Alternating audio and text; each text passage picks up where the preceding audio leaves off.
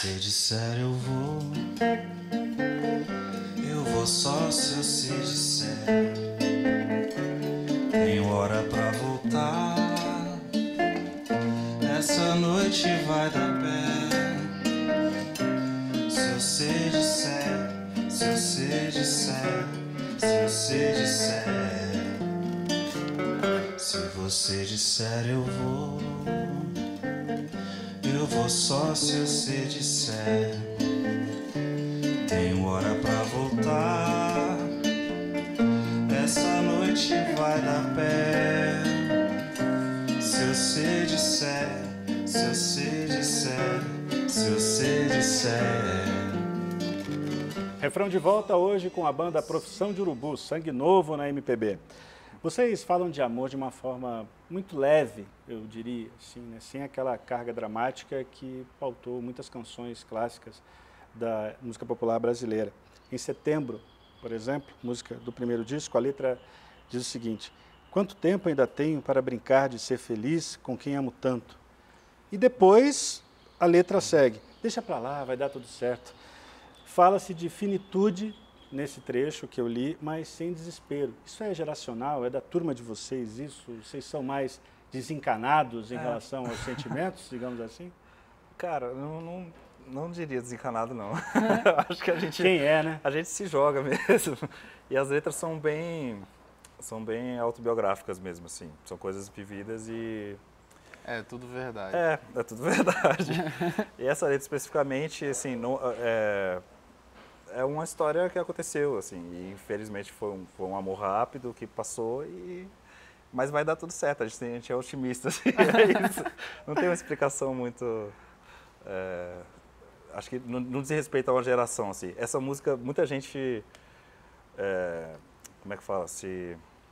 Identifica? Muita gente se identifica, é. muita gente se identifica com. Eu acho que qualquer música de amor, muita gente se identifica porque as pessoas amam, né? Em geral e.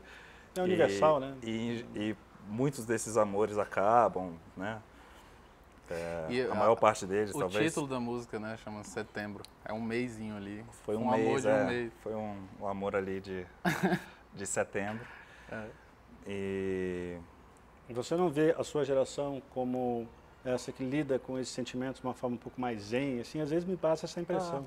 eu nunca tinha pensado dessa forma, nunca tinha, nunca tinha analisado. Isso Talvez. tá né? tendo uma terapia aqui. Uma... Não, um certo desprendimento, É, porque pode ser, pode falar ser. Dessa, dessa maneira, né? Sim, é.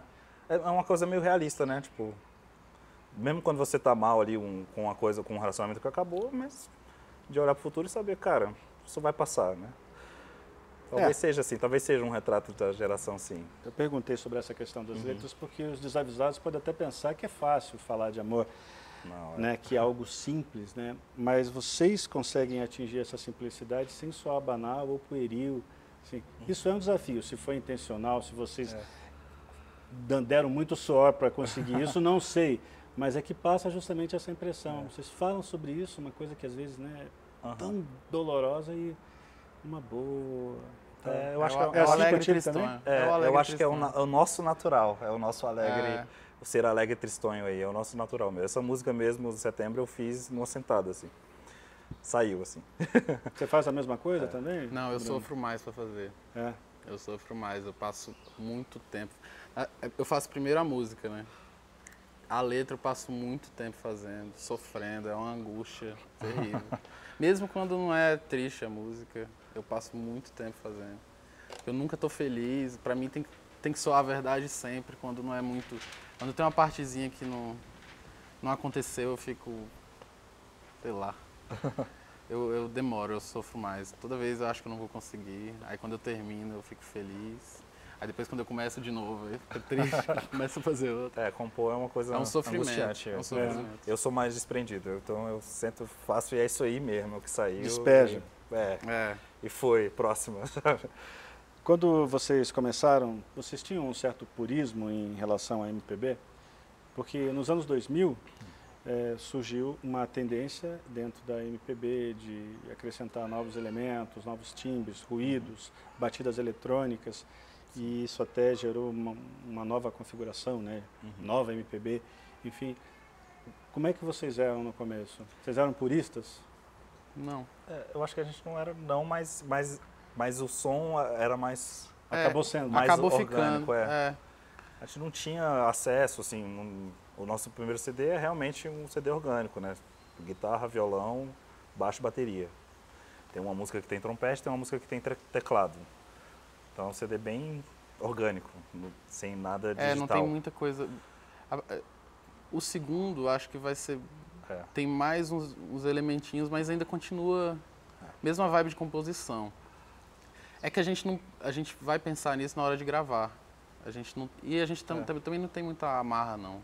É, não foi, assim, o primeiro CD é um CD orgânico, mas não foi é, por purismo, sabe? Não foi tipo, É. não gostamos de sintetizador. A gente Hum. nunca tinha tocado um sintetizador, um- a gente nunca tinha programado uma bateria eletrônica. E agora que a gente já está há mais tempo, aí já tem mais, mais estrada aí com esse negócio de gravação, a gente, tá, a gente tem testado, sim, e gosta pra caramba.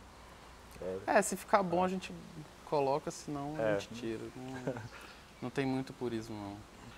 Vamos a mais uma música do primeiro disco, então? Bora. Qual vai ser? Essa é Pinheiros, chama Pinheiros. Que delícia de mulher, que beleza esse café. Sexta-feira já chegou em São Paulo, agora existe amor. Mais uma vez não me canso de vocês. E o que já passou das seis ninguém dormiu. Ah meu Deus do céu, que sorte grande Até o sol sorriu. Se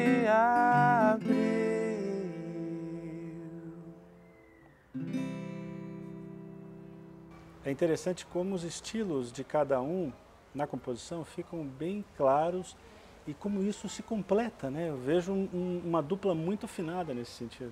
Legal. Obrigado. Vocês É. devem ser bem amigos, né? A gente é muito gente amigo, é é. muito amigo. É, Quase irmão, né?